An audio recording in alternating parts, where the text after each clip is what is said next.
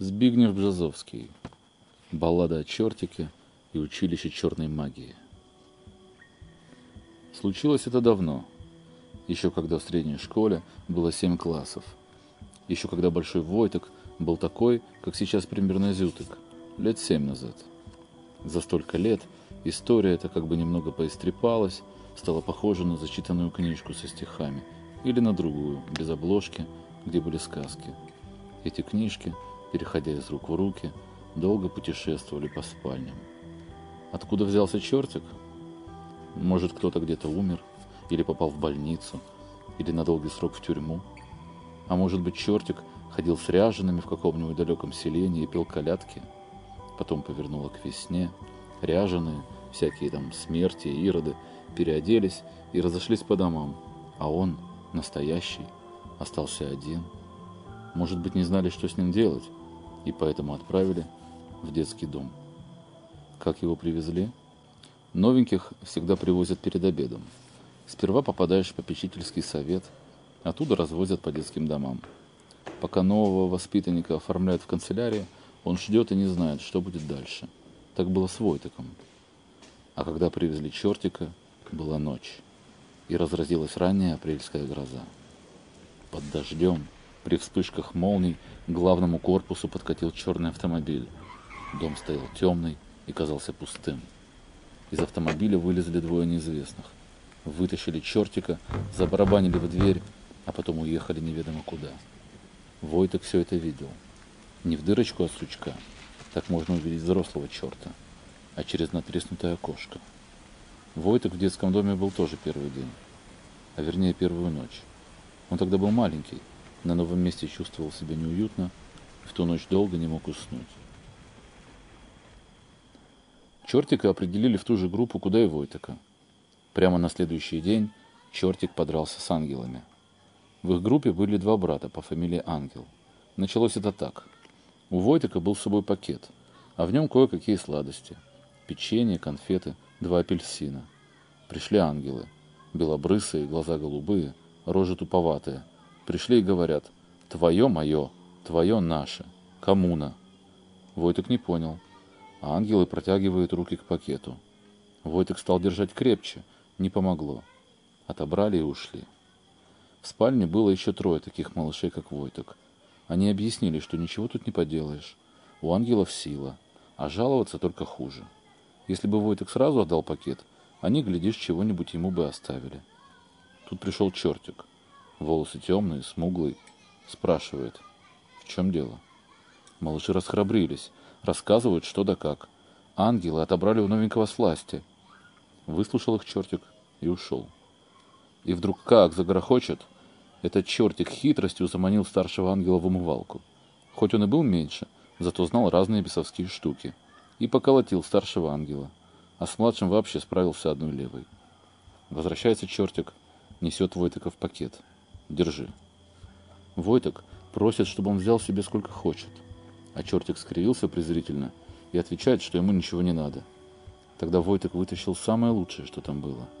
Апельсин, как горящий ярким светом фонарь. «Возьми», — говорит. Поглядел чертик.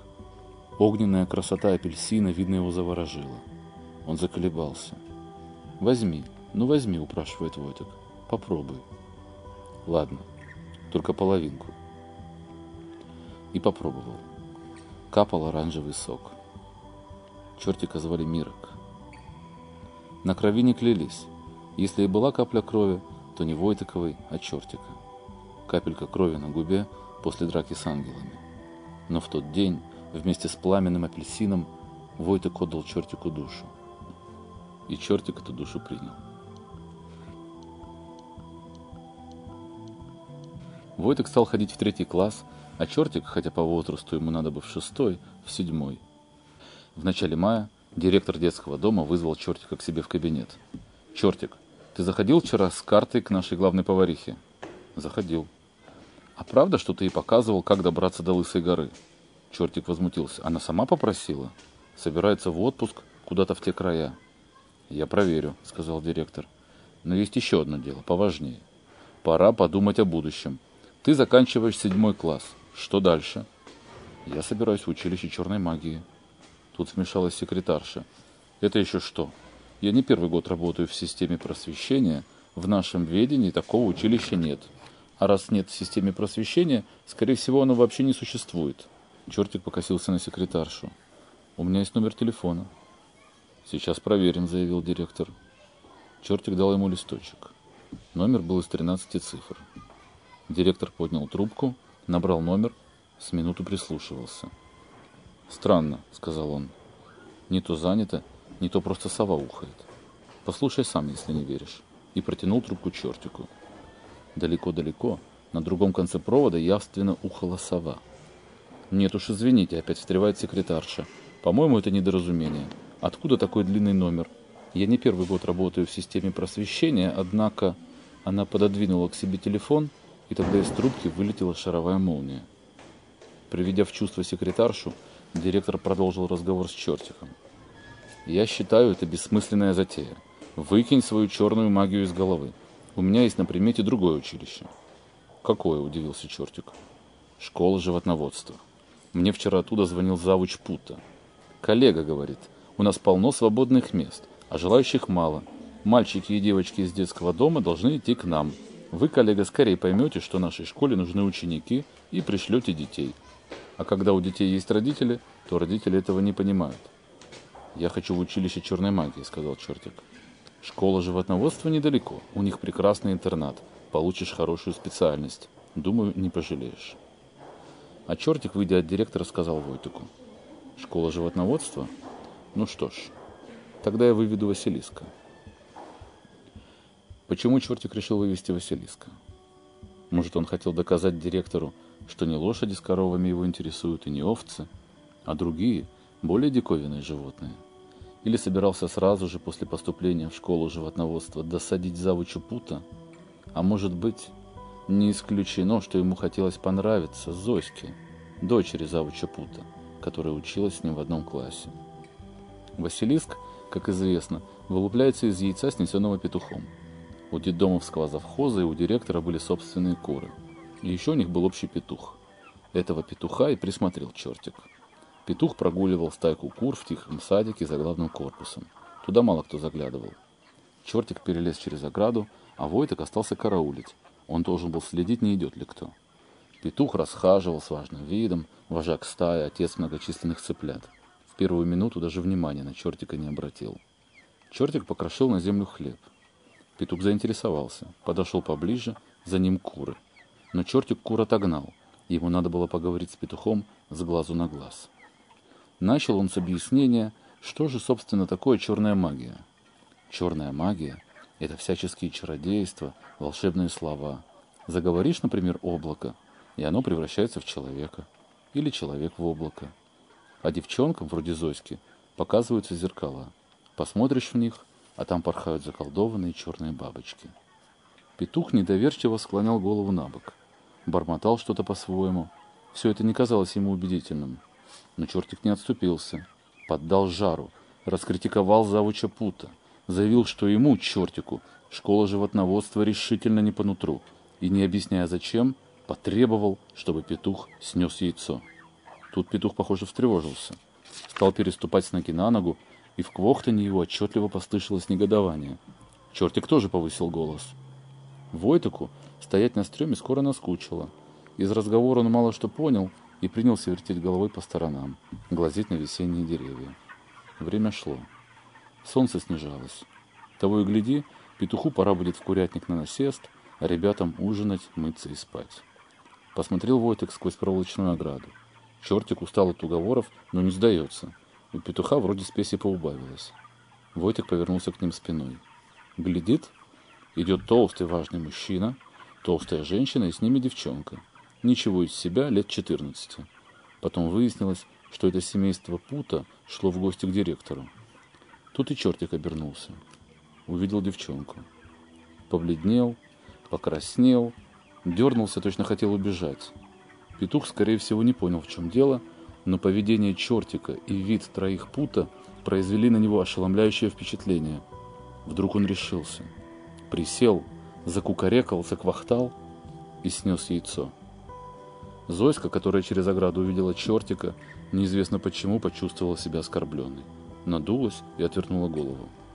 А петух с ужасом смотрел на снесенное им черное яйцо.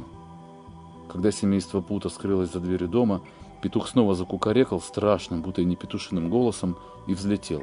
Но не упал, пролетев несколько метров, как обыкновенно петухи, а стал подниматься все выше и выше. Он был похож на коричневого орла, на коричневую планету, освещенную заходящим солнцем, на точку, и совсем исчез. На следующий день, сразу после обеда, директор снова вызвал чертика. «Чертик, нам каждое утро привозят молоко, верно?» «Привозят». Молоко всегда принимает главная повариха. Обычно из него варят молочные супы. Сегодня мы остались без молочного супа, верно? Верно, согласился чертик. А кто утром приставал к поварихе, чтобы заговорила молоко? Не заговорила, а просто не брала, защищался чертик. Неважно. Так или иначе, молоко она не приняла. И его увезли обратно. Да, но молоко-то сегодня было порченное. Как это порченное? Очень просто, водой. Я сам видел, как они остановились перед воротами. Один сходил за ведром и долил воды. Директор замолчал. Барабанил пальцами по столу. Хотел, видно, еще спросить про петуха, исчезновение которого почему-то связывал с особой чертика, но не знал, с чего начать. Ну ладно, иди. Только запомни, никаких училищ черной магии. Школа животноводства. Когда чертик был уже на пороге, директор еще о чем-то припомнил. Ага, а правда, что ты обещал дочке завуча Пута корону и полцарства? Чертик не ответил. Петушиное яйцо должна высиживать жаба. В ту весну, запомнилось ребятам, под окном спальни чертика прыгало множество жаб. Но чертик привередничал. Нелегко найти солидную, добропорядочную жабу, которая сумела бы вывести Василиска. С середины мая чертик почти все время ходил босиком. Семиклассники, даже те, которым исполнилось 13, разутыми ходить обычно стесняются. И раньше тоже стеснялись. Даже в очень теплые дни, когда трудно выдержать в кедах и приятно ступать босыми ногами по нагретой земле. Босиком чертик ходил неспроста. Это имело отношение к выращиванию Василиска. Потому что Василиск к тому времени вылупился из яйца. В спальне его чертик, понятное дело, не держал. Однажды чертик позвал Войтека. Он уже подрос. Хочешь посмотреть? Войтек хотел. Снимай сандалии. Зачем? Так надо. Войтек снял. Чертик повел его по тропинке через парк, через луг и рощу в дремучий лес. Тропинка, по которой они шли, вдруг дрогнула и попыталась убежать. Войтек чуть не шлепнулся, но чертик ловко придержал тропинку ногой. Надвигались тяжелые грозовые тучи. В воздухе потемнело. Войтеку стало не по себе. «Мирок, я слыхал, на кого Василиск посмотрит, тот превращается в камень». «Не бойся», — сказал чертик и раздвинул ветки. На полянке стоял диковинный зверек — похожий одновременно на большого индюка и на маленького змея Горыныча, сплошь покрытый чешуей. Стоял задом, привязанный к пеньку. А если обернется и посмотрит? И в эту минуту Василиск повернул голову. Но ничего не случилось, потому что чертик заранее нацепил ему на клюв темные очки. «Можешь его погладить», — разрешил чертик. Войтек протянул руку, дотронулся до жестких чешуек. Возвращались по той же тропке. И снова она норовила удрать из-под ног, но не тут-то было. Теперь Войтек знает, что тропинку, ведущую к заточенному в лесной чаще Василиску, нужно легонько придерживать пальцами ног за пучки колышущейся на ветру травы, либо просто поддать ей голой пяткой, чтобы успокоилась. Возможно, чертик еще и потому ходил босиком, что ни в какую школу животноводства не собирался. Он был уверен, что все равно попадет в училище черной магии – а поскольку училище это находилось очень далеко, хотел захватить в дорогу память о земле в лесу и парке, об островках теплого песка и даже острова Гравия. В общем, все, что поздней весной чувствуешь под босыми ногами. Неужели дочка завуча Пута так ни разу не прикоснулась к чешуйкам Василиска? А может, чертик все-таки показал его ей? Она фыркнула. Подумаешь, невидаль, Василиск. Неизвестно. Еще чертик начал выпиливать кольцо. Конечно, волшебное и заговоренное. Колдовал над ним несколько дней, но в конце учебного года потерял к кольцу всякий интерес и сказал Войтеку, что все девчонки дуры. Кольцо это, недоконченное, недозаколдованное, теперь у Войтека. Он хранит его как память. Говорят, на выпускном вечере седьмых классов произошел странный случай. Выступала Зося. Пела песню «Ах, если б крылья иметь за спиной». Крылышек захотелось. Получай. Пробормотал чертик, и у Зоськи выросли крылья. Она запнулась, но не подала виду, что чертиковые выходки ее задевают. Продолжала петь. «Я бы полетела б за тобою». Чертик разозлился и сказал «Ну и лети». И Зоську Пута вынесла в открытое окно. Было так на самом деле или не было, тогдашних семиклассников тоже всех разнесло по свету. Кто пошел в техникум, кто работать, некоторые учатся в институте. Трудно отыскать тех, кто помнит. Завуч Пута, правда, признается, что ездил тогда куда-то к черту на куличке, только отрицает, что за дочкой. Во всяком случае, когда директор в последний раз беседовал с чертиком, о Зоське речи не было. Директор только втолковывал чертику, что главная повариха и не думала накликать дождь. Просто у нее ревматизм, и она наперед знает, когда испортится погода. Говорил, что чертик он там или не чертик, а воспитателей слушаться обязан.